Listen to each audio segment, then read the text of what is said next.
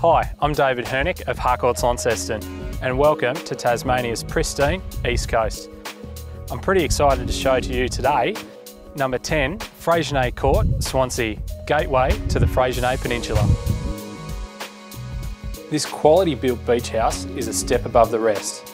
It's been built like a contemporary family home with a top end fit out. There are some truly breathtaking, uninterrupted views over Great Oyster Bay to the Hazard Mountain Range beyond. The home also features four large bedrooms, all with built-in storage, two stunning bathrooms, a garage with internal access, and of course, this awesome deck space, which puts even more emphasis on this stunning view. All the modern fixtures and fittings you could need, including main sewer and stormwater, along with mains fresh water, and there's also tank water if you prefer.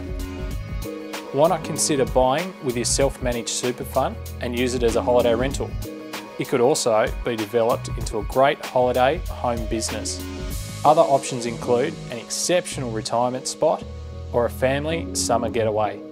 Only a couple of minutes walk to the beach and with this fun and vibrant community, there's always something to do if you want a break from fishing. So as you've seen, this is a real home away from home. I've enjoyed showing you, but give me a call. I'd love to show you through in person.